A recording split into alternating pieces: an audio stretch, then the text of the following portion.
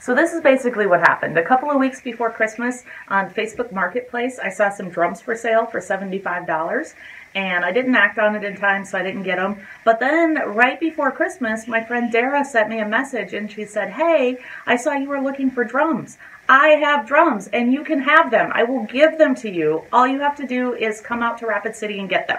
So I did that. I drove out to Rapid City over my Christmas break. Almost got snowed in out there, but did make it back to Jamestown, got them set up. And like what happens with most times when I get a new musical instrument, I get it, I get it set up, and I say, wait a minute, I don't play drums. I don't play drums, but I can paint them.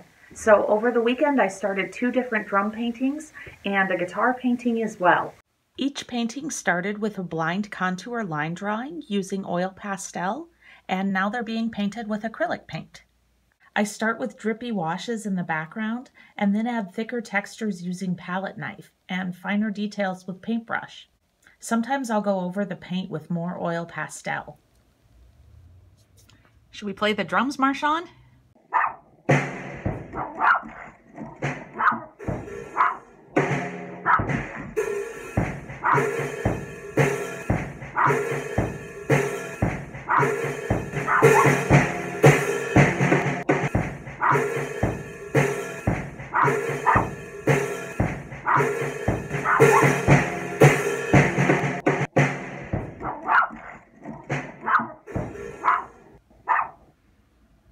Hey, that was really great, Marshawn.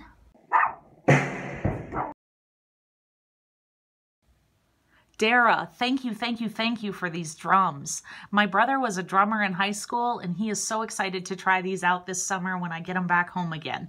We are going to have a ton of fun with these, so thank you so much. You totally made our Christmas and our New Year.